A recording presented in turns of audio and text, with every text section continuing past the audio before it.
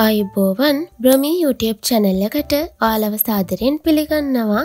අද මම ඔයාලට කියලා දෙන්නේ මුස්ලිම් ජාතිකයන් අතර ප්‍රසිද්ධ කරි එකක් වෙන කලියා කරි එක හදාගන්නේ කොහොමද කියලා. වම්බටුයි අලු කෙසෙල්ලුයි අලයි බැදගෙන තමයි මේ කරි එක හදාගන්නේ. ඊට අමතරව මේ කලියා කරි එකට චිකන් ලීවර් එකතු කරගන්න පුළුවන්. ඒත් අද මම හාල්මැස්සු බැදලා එකතු කරගෙන මගේ ක්‍රමයට කලියකරිය එක හදාගන්න විදිය තමයි ඔයාලට කියලා දෙන්නේ. ඉතිං අපි ඉක්මනටම වීඩියෝ එකට යමු. මුලින්ම මම මෙතන අරගෙන තියෙනවා වම්මටු ග්‍රෑම් දෙසිය පණහක් පොඩි කොටු හැටයට කපලා කහකුඩු ටිකකුයි ලුණුකුඩු ටිකකුයි අතගාගෙන. ඊට පස්සෙ මම අරගෙන තියෙනවා අල ග්‍රෑම් දෙසීයක් ඒ වගේම තව මම අරගෙන තියෙනවා අලු කෙසෙල් ගෙඩි තුනකුත් පොඩි කොටු හැඩයට කපලා අන්තිමටම මම අරගෙන තියෙන්නේ හාල් මැස්ස ග්‍රෑම් දෙසීයක්. ඔයාලට පුළුවන් හාල් මැස්ස වෙනුවට චිකන් ලීවර් දෙක තුනක් වුණත් එකතු කරගන්න. ඊට පස්සේ මම ලිපේ රත් වෙන තෙල් එකට මුලින්ම අල ටික එකතු කරගන්නවා. මධ්‍යම ගින්දරින් අල ටික රන්වන් පාට වෙනකන් පැද ගන්න ඕනි. ඒ වගේම තමයි අල ගොඩක් පොඩියට කපා ගන්නව නම් පැද ගන්න ලේසි. අල ටික රන්වන් පාට වෙනකම් පැදුනට පස්සේ මම මේ විදියට ලිපෙන් බාගන්නවා. ඊට පස්සේ මම එකතු කරගන්නවා වම්බඩු ටික. වම්බඩු ටිකත් මධ්‍යම ගින්දරින් රන්වන් පාට වෙනකං පැදගන්න ඕනි. ඒ වගේම තමයි වම්බඩු ටික ගොඩක් වෙලා පැතගන්න එපා. මොකද එහෙම බැදගත්තම තිත්තරසක් දැනෙනවා. ඒ ටිකත් මම මේ වගේ පැදගත්තට පස්සේ ලිපෙන් බාගන්නවා.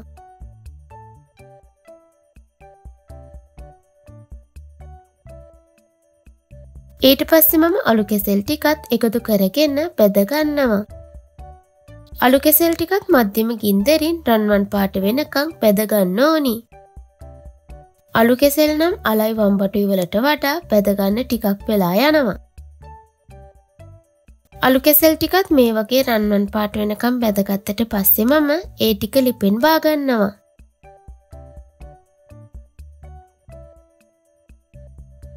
අන්තිමටම මම හාල්මැස්සු ටිකත් බැදගන්නවා. හාල්මැස්සු ටිකත් මධ්‍යම ගින්දරින් තමයි බැදගන්න ඕනි. ඔයාලට පුළුවන් ඉතින් හාල්මැස්ස වෙනුවට චිකන් ලීවර් එකතු කරගන්න. චිකන් ලීවර් එකතු කරගන්න වනම් කරියක උයන අතරතුරේ තමයි එකතු කරගන්න ඕනි. හාල්මැස්ස ටිකත් බැදගත්තට පස්සේ මේ විදිහට ලිපෙන් බාගන්න.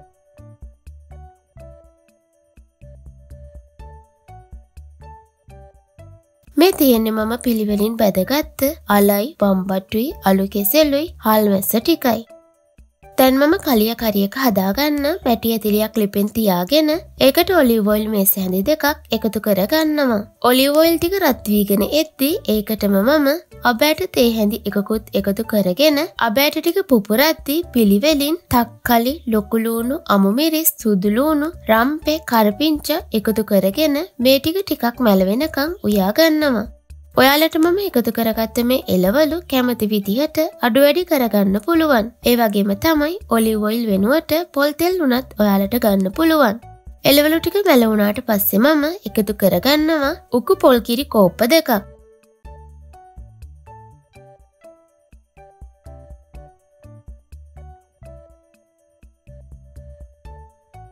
දැන් මම පිළිවෙලින් එකතු කරගන්නවා මිරිස්කුඩු තේ හැඳි එකකුයි අමු තුන පහකුඩු මේස හැඳි එකකුයි කාකුඩු තේ හැඳි කාලකුයි ලුණුකුඩු මේස හැඳි එකකුයි උළුහාල්ලට ටිකකුයි සූදුරු තේ හැඳි භාගයකුයි පොඩි කුරුදු පොතු දෙකකුයි දැන් පොල් කිරිවල අමුගතිය නැති වෙනකම් නොනවත්තා හැඳිගාන ගමන් උයා ගන්න ඕනි. මතක ඇතුව පොල් කිරි ටික කැටි ගැහෙන්න දෙන්න එපා.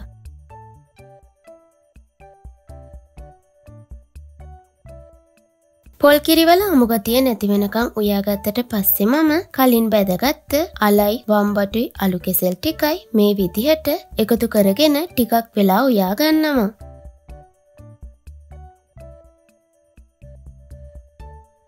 මම මේ ගන්න ඉංග්‍රීඩියන්ස් ප්‍රමාණයත් එක්ක පහල තියෙන ඩිස්ක්‍රිප්ෂන් බොක්ස එකේ තියෙනවා. ඔයාලට එතනින් බලාගන්න පුළුවන්.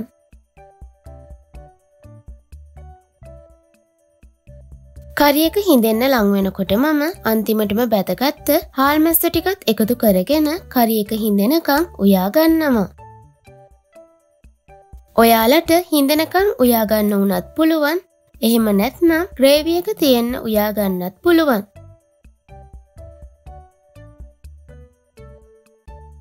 ඉතිං ඔයාල මගේ YouTube චැනල් එක සබස්ක්‍රයිබ් කරල නැත්නම් සබස්ක්‍රයිබ් කරන්න ලයි කරන්න කමෙන්ට් කරන්න ෂයා කරන්නත් අමතක් කරන්න එපා.